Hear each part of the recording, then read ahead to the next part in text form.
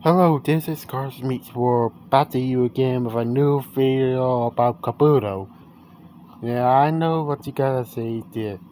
Now, why they have this version of Tokyo Mater, but not the, the Kabuto art.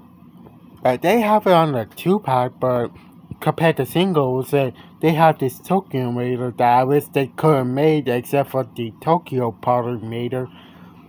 But it's kind of like wasted potential. Why you sell card art like this if you don't sell this or release this as a single? And I kind of know the problem of it because it probably be too big for it. But if you watch my last video about Red and Stanley, I don't know why they released Red because he's a deluxe and, you know, and Stanley is kind of like an accessory, you know. It, it does not count as a real, real uh, die-cast car, you know. It counts as an accessory, you know. So it doesn't make sense. If they could do that for Red and Stanley, the accessory, they could done this with Tokyo Mater with Tokyo Lightning McQueen, you know. But again, they screwed up on that one as well. Let me get this. Yeah. They totally screwed this up as well because they could at least release this down here, but they released the generic Tokyo Power Mater. Don't blame me one, I kinda like it. But I want this. I want this. Mattel, I want this. I want this, this, not this. I want the before photos, not the after. But include this Dragon Lightning McQueen, but I like this, you know. I wish they could release it as a single because uh, I, I have this out, you know. But again, I'm not gonna spend more money just to get this and this at the same time Mattel. I'm tired of you doing this, you know.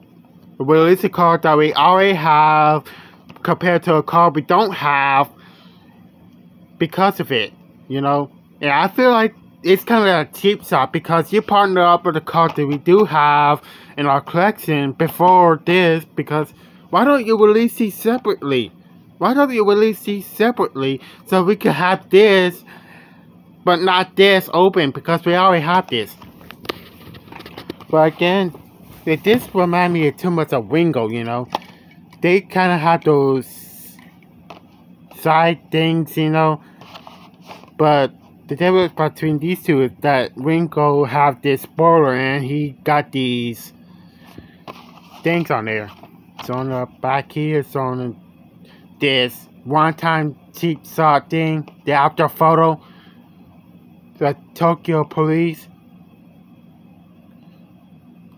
It's Suto Ah, know, no. And this character that they released for Tokyo Pop. Now it's time to kind of release it. Open this up, you know.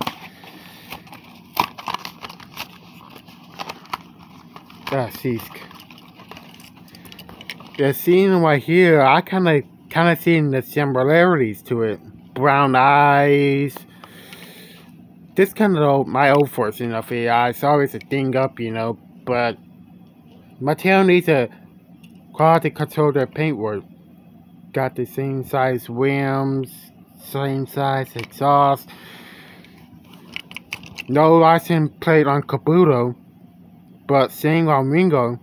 I don't know why they do this, you know. Yeah, I feel like this is just a copy and paste.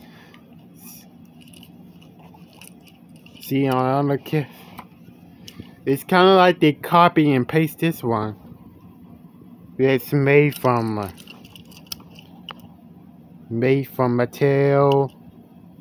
Disney Pixar made in Thailand. Let's see this or uh, Mattel made in Thailand. Sees between you and me, they could just totally just make the same car, and we couldn't tell the difference. You know.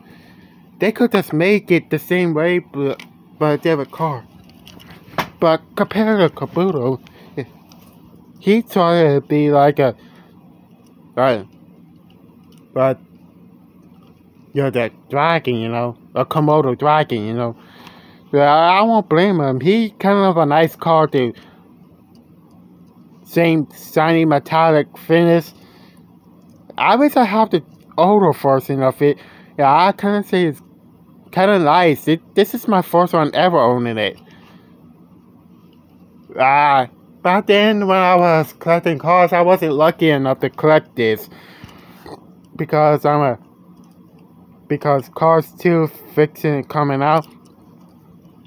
And I'm tired of it, you know, they reusing reuse cars because how it makes sense for this car to be in Cars 2 and Tokyo Mater the same thing. Same goes with him. He does not come in Cars 2, but with different expensive with luggage. And I feel like it's just a cheap shot just to make these Tokyo Mater and Cars 2 because they was seen in Cars 2. And I say it's kind of nice. Nice green finish and red stripe trying to have a mustache right there. But again, I kind of like it, you know.